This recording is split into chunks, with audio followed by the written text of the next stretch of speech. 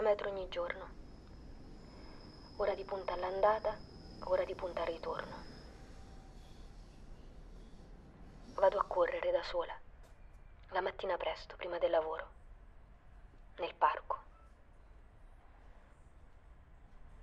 La notte dopo le feste torno a piedi verso casa. Mi perdo nella folla, non evito nulla, non mi nascondo. Guardo i passanti negli occhi, sorrido ai gruppi di giovani agli angoli delle strade.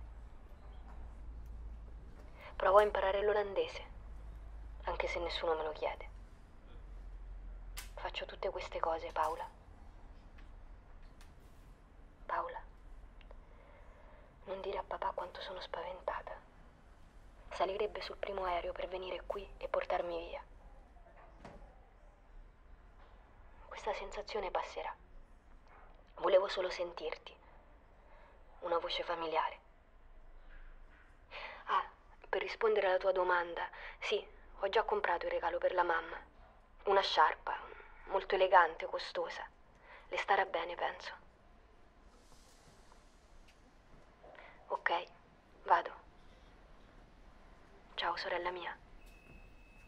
Ti penso.